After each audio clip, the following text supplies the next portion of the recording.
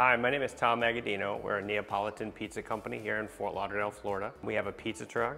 We specialize in pizza class, catering, and we have a pizza shop inside of Gulfstream Brewery. So we'll bring a mobile pizza shop to somebody's house, business, office, we do weddings, bar mitzvahs, you name it. We're pretty much scattering and doing everything nowadays. We're doing uh, a cool program with the local schools. We'll go and we'll teach pizza classes from ages kindergarten all the way through high school. Like for example, last week we went to South Plantation High School and we taught 200 kids how to make pizza. And then the week after that, we went to another local school and taught third graders how to make pizza. It's just we're like bringing the Neapolitan style, something a lot of people aren't familiar with, and we're just making it fun and realizing how good it is.